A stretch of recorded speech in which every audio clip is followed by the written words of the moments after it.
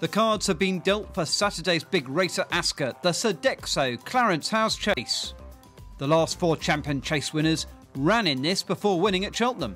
And one king is back. Sire de Grugy, winner in 2014, might well be able to trump his rivals once again. But the ace in the pack is Un De Sceaux, a brilliant winner of the Racing Post Arkle last season. He has only been beaten twice in 15 starts, both times when he fell whilst leading. Champion trainer Paul Nicholls has played his cards right in this five times before.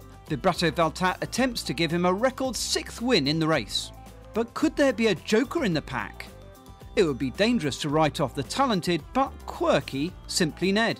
So who has the winning hand? It will require skill and a stroke of luck to find the winner. So get in the know by logging on to racingpost.com and strike a bet via the mobile app.